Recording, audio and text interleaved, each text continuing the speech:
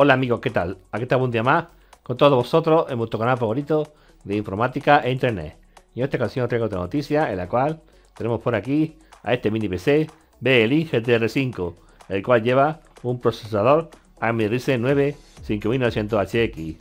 Pues bien, hoy conocemos el lanzamiento del BLI GTR5, el nuevo mini PC de alto rendimiento y tope de gama de la compañía, dotado de un procesador AMD Ryzen 9 5900HX es decir, el procesador tope de gama que tiene actualmente disponible AMD enfocado a equipos portátiles, con unas dimensiones de 168 por 1120 por 39 mm de alto y un peso que ronda el kilo y medio.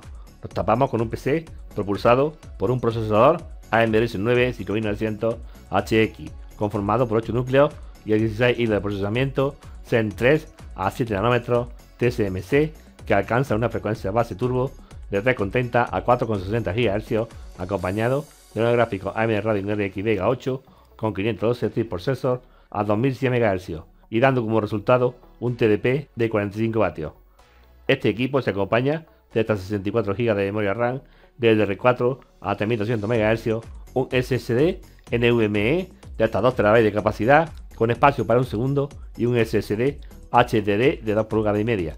En conectividad es muy completo, partiendo con acceso a Wi-Fi 802.11 AX, más Bluetooth 5.0, más 6 puertos USB 3.0, más un puerto USB-C, 3 salidas de vídeo en forma de 2 HDMI 2.0, más un DisplayPort, seguimos con el doble conector Ethernet a 2 GB y medio, conector de auriculares e incluso un lector de huellas dactilares integrado para permitir iniciar sesión, loguearse en web o realizar pagos mediante la huella dactilar y un micrófono compatible con el asistente por voz Cortana. Aquí tenemos la primera imagen de este mini PC. Y en esta segunda imagen veríamos cómo iría distribuido cada componente integralmente. El BLI GTR5 se refrigera mediante un sistema de doble ventilador con dos a pipe de cobre y doble radiador de cobre. Sale a la venta a un precio de 618 euros con 16 GB de memoria RAM, un SSD de 512 GB de capacidad, o 662 euros con 32 GB de memoria RAM.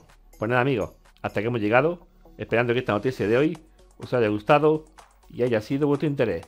Un saludo y hasta la próxima.